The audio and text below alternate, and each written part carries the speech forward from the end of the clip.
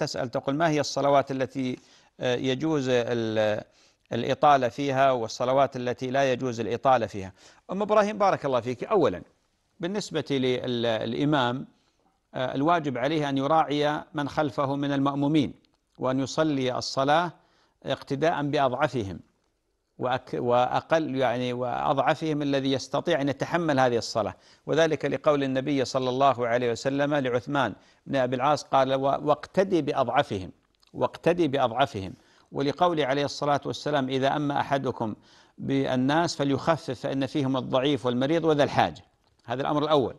الأمر الثاني إذا صلى الإنسان لوحده فإن السنة أن يطول ما شاء.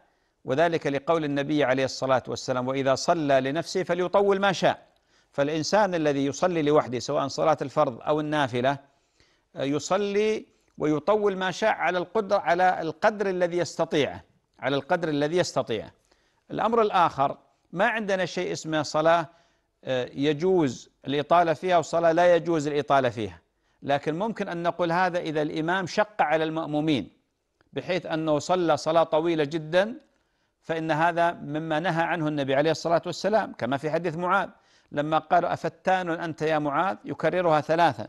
حتى قال الراوي ما رأيت النبي عليه الصلاة والسلام غضب في موعظة في موعظة مثل غضبه على معاذ. ما غضب في موعظة مثل غضبه على معاذ. لما قال أفتان أنت لأنه أطال الصلاة بجماعة مسجده. فممكن في هذه الحالة. لكن هناك صلوات من السنة التخفيف يعني مثلا سنة الفجر القبلية من السنة التخفيف كما قالت عائشة ما أدري أقرأ فيها بفاتحة الكتاب أم لا من شدة تخفيف النبي عليه الصلاة والسلام. عندك مثلا افتتاح قيام الليل يفتتح الإنسان قيام الليل بركعتين خفيفتين. عندك اللي يدخل يوم الجمعة والإمام على المنبر يصلي ركعتين يوجز فيهما. ولا يطيل. هذه سنة النبي عليه الصلاة والسلام. عندكم ركعتي الطواف.